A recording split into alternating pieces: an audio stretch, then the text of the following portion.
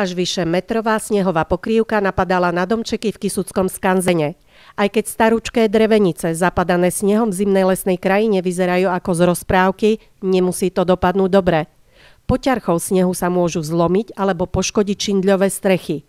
Preto z nich začali pracovníci skanzenu a dobrovoľníci sneh zhadzovať.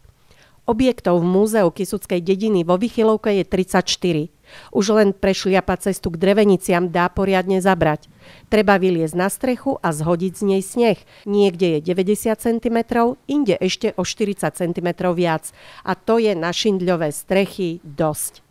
Okrem lopat je nezastupiteľným pomocníkom reťaz. Slúži ako pílka, s ktorou sa sneh odreže.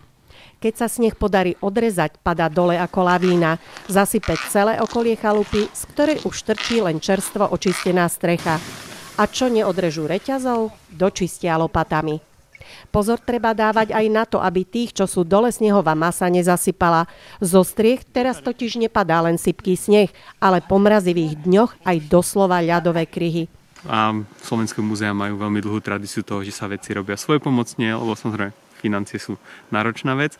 A tiež, e, ako máme my v Skanzeme, tak tu naozaj nie je to o tom, že by sa to dalo urobiť technikou, musí to urobiť ručne, takže treba byť ochotný nasadiť sa. A teda tí kolegovia, ktorí sú zdravotne na tom tak, že môžu, a nie sú v preddôchodkovom veku, tak prídu a pomáhajú vždy, keď sa stane nejaká takáto kalamita, buď snehová, alebo teda povodne, ktoré tu mávame.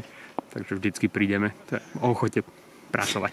A, e, keď som býval ešte u rodičov, tak som odhodzoval samozrejme v rodinnom dome, teraz v paneláku ma to na, našťastie obchádza. A v tých nižších polohách na Kisuciach nie je toľko snehu, naozaj akože v tých, v tých údoliach je ho more a v tých nižších, keď máte nejakého pol metra, čo to je, to, to, to rodičia stihnú odhadať, to ne, ne, nemusím s tým pomáhať z práce. Prvé objekty začali zbavovať snehu už v pondelok.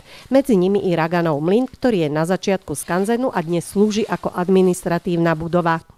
V múzeu Kisuckej dediny vo Vychylovke sú zachránené najcennejšie pamiatky ľudovej architektúry práve zo zaniknutých kisuckých obcí Riečnica a Harvelka, ktoré boli kedysi na mieste vodnej nádrže.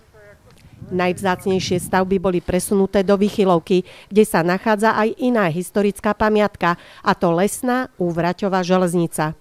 Skanzen je otvorený sezóne od mája do konca októbra. V tomto roku však Kisucké múzeum pri príležitosti 50. výročia od svojho založenia otvorí brány Múzea Kisuckej dediny vo Vychylovke o niečo skôr. Pripravilo pre návštevníkov program s názvom Fašiangy sa krátia, už sa nenavrátia a to na nedeľu 27. februára, kde sa od 13. hodiny rozprúdi ozajstná fašiangová zábava. Poďte na